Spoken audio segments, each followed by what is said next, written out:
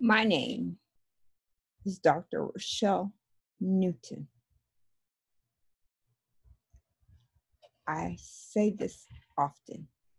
I am my ancestors' wildest dream. Yet to myself, I wonder where I am and where I belong.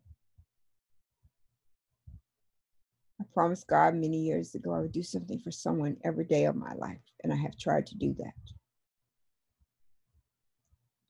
But in the current climate of our world, it seems like that we are more confused than we've ever been. There is not a lot of understanding of what's happening to us and why now. Why did the death of Mr. Floyd bring such a change when Black and Brown people have been killed every day since they first came to this country? Why now? So I found this page and I said I wanted to share it with you. You probably already know, but in case you don't. George Floyd. Breonna Taylor. Atiana Jefferson. Aura Rosser. Stephon Clark. Botham Jean. Philando Castile. Alton Sterling. Michelle Zezel. Freddie Gray. Janisha Fonville. Eric Garner. Akai Gurley. Gabrielle Navarre. Tamir Rice. Michael Brown. Tanisha Anderson.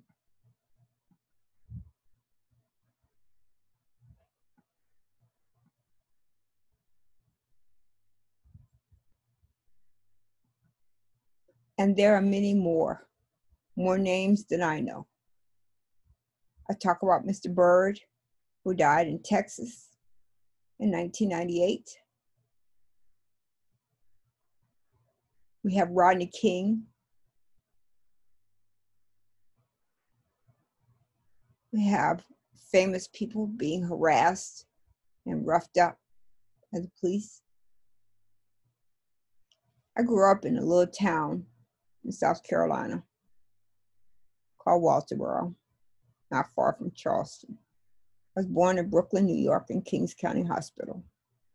I was raised by my paternal aunt, Albertha Newton Edwards.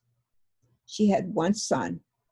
He was hearing impaired, and he was in a school for those with hearing impairments. I lived with her. She had a fourth grade education. She was domestic. She cleaned floors for white folks on her hands and knees. Many days I went and sat on the back porch while she did this, so I would be safe. I think I've told you this before, but my husband gave me a new perspective on the tough love that she gave me. She was saving my life. My life has meaning and purpose. I just don't know for sure what that is.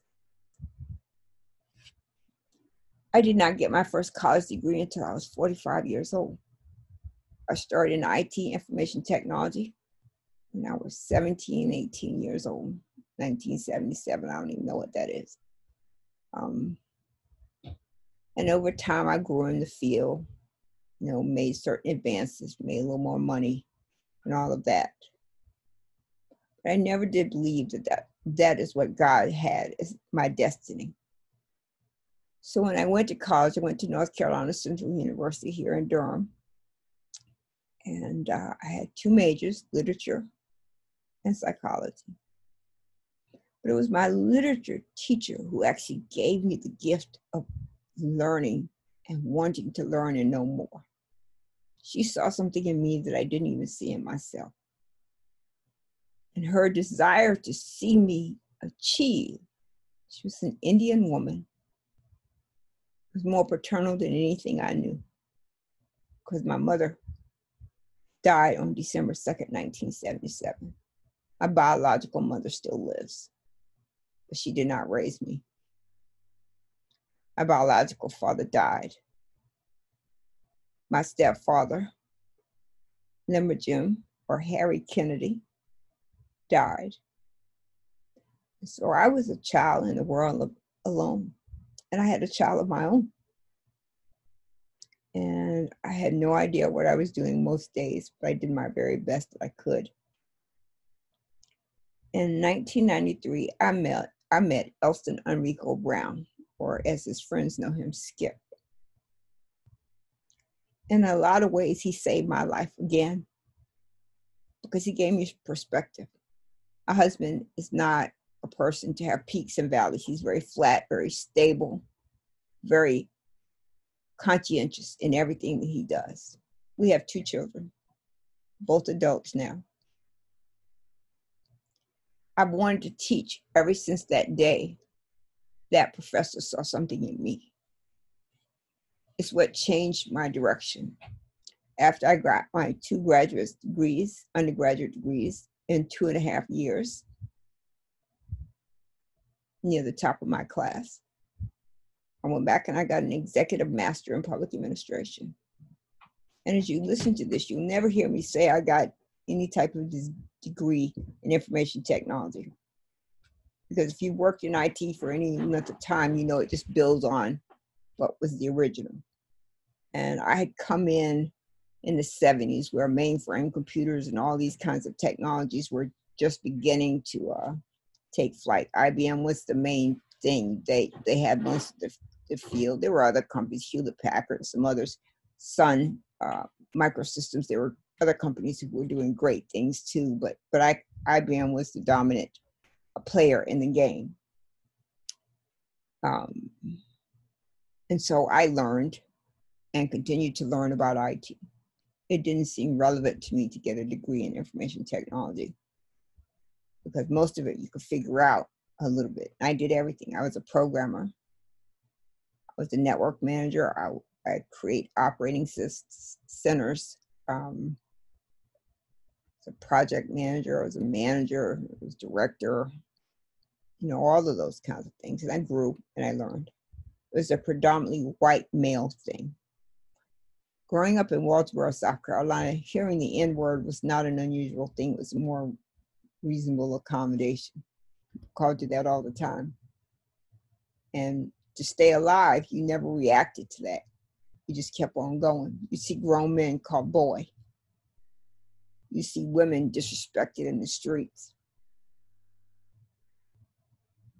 So when I got to IT, I faced the same thing. I remember my first job I was a punch card operator. So I would get these long trays of punch cards and have to carry them from one place to the other and get them into the computer, get them into the system so they could be fed into the computer and, you know, create an output. And there were three white men that did something else. I don't know what they did, but they would see me struggle with these punch cards. And I mean, a punch card was probably about three or four feet long and maybe about a foot wide. And the cars were in there in an order because it actually contained the data that it was going to push up to the mainframe. And uh, one day, uh, as they were passing me by, they started calling me the N word and pushing and poking at me.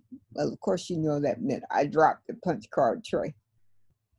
And I thought I had lost my career at that time, but fortunately someone else had dropped it before, so they were used to it being dropped and they knew how to reorder the cards again. So there was that. Um, I was not stopped call. I was no longer called the N word in my 40s. Um, I experience microaggressions even today. Um, you know, people say things to me that I'm supposed to be okay with. And um, I haven't often been called the angry black woman because I am a true introvert and I don't particularly enjoy conversation or interacting with people. I prefer to be quiet in my room reading or whatever it is that I'm doing, but interaction with people not among my fun, my fun things. As I grew older, so many things happened to me. You know, I, I think I told you this before. I was raped at 19 in broad daylight. Um, I have had so many cars repossessed. I probably own a car lot now if I could tell you how many, because I had no idea what credit was. Had no idea that the logic of paying your bills, because my fourth grade mother and my Walterboro High School education was lacking. So I didn't have a foundation. And I had a child to raise that I didn't even know how to do that. And then as I've gone on, I have learned to temper my emotions and feelings and ideas and thoughts. I'm always contributing. I build my network. I have a massive network. I connect people to each other all the time. And I just recently started an organization to look at advocacy. And advocacy more than just saying, you know, hey, this is what I went through, or this is how I did it, but to actually be a voice for those who don't have a voice, who do not have a voice. My diversity chats in my YouTube channel came from an idea someone else had given me, but it has paid dividends many times over. People ask me now, especially white people, what should I say? What should I do? My first answer in my mind, I want to say is, why haven't you seen this for 400 plus years? But that's not the right answer. So I ask, talk to people who look like you and don't look like you. Ask them how they're doing. Ask them what they need. Ask them, how can I help? Because while we are great at collaboration and talking, to each other. I don't think we really know how to bridge the gap that racism, Jim Crow, slavery, Holocaust, um, Islamic threats and, and wars and I don't think we know how to bridge the gap to talk to each other and see the differences in each other as beautiful things as opposed to reasons to hate one another if my skin is lighter than someone's, it doesn't make me any better than theirs. Um, if someone's hair is blonde, it doesn't make it better than someone's who's brunette. But for some reason, we've allowed so many constructs to become a part of our national anthem. White is better, black is not. Why? Because I believe people need to feel better about themselves. In order to do that, they have to put someone else down. I think that we as a people have got to learn to communicate with each other, to see each other as human beings. Just like we can tell the difference between a beagle and a German Shepherd. We ought to be able to tell the difference between a black and a white person and see them both as humans because both that beagle and that German Shepherd are dogs. The black person, the brown person, the yellow person, the white person, and whatever other kind of person it is, is a human being. We need to see them as human beings and treat them as such.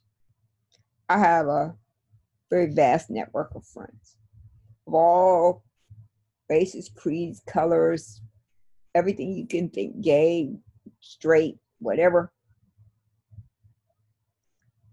I don't think that it matters the external characteristics of a human being. It matters the internal characteristics of a human being. To have a heart, to care, to think about someone other than yourself to do something for someone other than yourself. The names I read to you, I probably mispronounced them.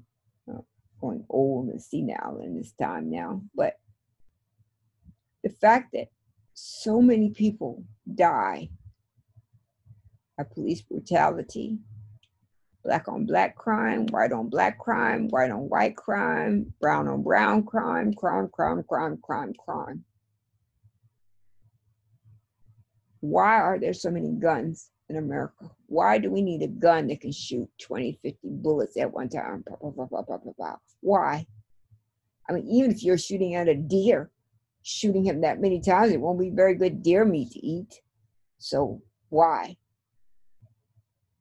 Why do we need to use deadly force to address an issue that can be de escalated with just conversation? One of my favorite things to do is watch crime, crime reality shows, and I find myself always concerned about it because when they talk about the person who's committed the crime, whether he's killed one person or more, they describe him as a monster or pure evil. Well, then, if that is the case, that that person is a monster or a pure evil, what are the people who oppress Black people, kill Black people, brown people, hang us from trees, beat us with whips, deny us an education, separate us, segregate us, deny us? Aren't they pure evil? Isn't that a monster? Or is it just a monster when the person is black or brown?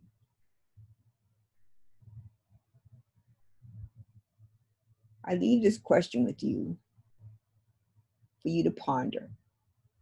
I am not perfect. I do not strive to be perfect. I do not have any inclination to be perfect. I strive to be human. I strive to be kind. I strive to give whatever I can. Why can't you?